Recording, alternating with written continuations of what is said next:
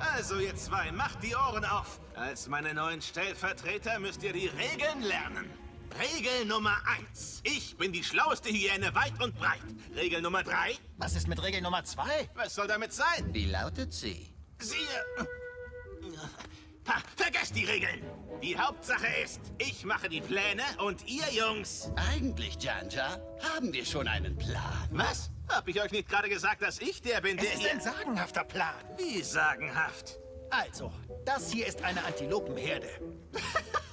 Nein, ist es nicht. Das ist ein Knochen. Zuerst treiben wir sie alle in diese Richtung. Genau. Und dann rückt die Garde der Löwen an und rennt den Antilopen hinterher.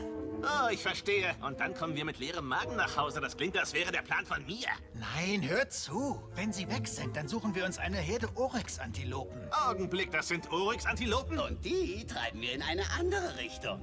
Dann schnappen wir uns die Oryx-Antilopen hier, während die Garde der Löwen noch mit den Antilopen da beschäftigt ist.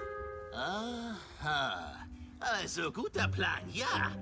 Endlich Hyänen, die Grips haben wie ich. Diese anderen Felldussel wussten ja nie, was sie taten. Genau wie ein paar andere Hyänen, die wir kennen. Richtig.